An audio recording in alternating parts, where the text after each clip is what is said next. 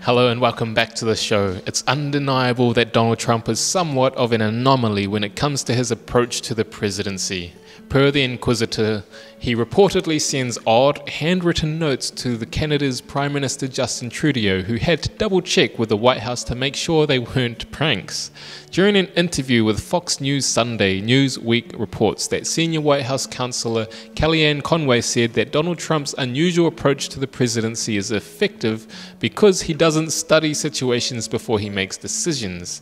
This is why it's so important to have a president who isn't a typical politician, because he and his team don't sit around and say, well, let's study it, let's have a commission about it.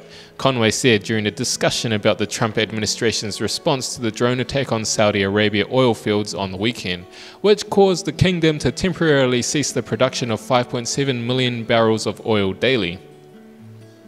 Conway added that Secretary of State Mike Pompeo went right out there and pointed out who they believe the aggressor is Iran.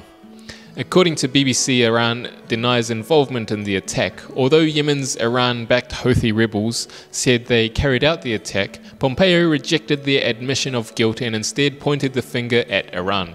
According to Iran's Foreign Minister Javad Zarif, the US's rejection of the rebel group's claims and decision to blame Iran won't end the disaster in Yemen. Per the Inquisitr, Trump previously took heat for sharing a classified intelligence photo on Twitter.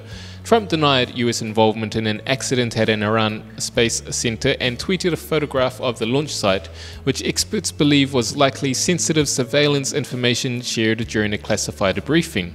In the face of criticism, Trump said that it was his right to share the photo via social media if he pleased.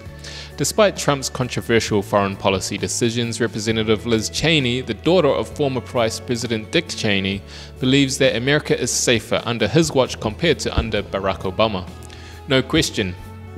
The world is safer, she said on NBC's Meet the Press per The Hill. We're in a situation where American leadership has come back, she said, adding that the military did not get the resources it needed under Obama. Cheney made the comments following the removal of National Secretary Advisor John Bolton, who as the third to serve the position in Trump's administration. Thank you.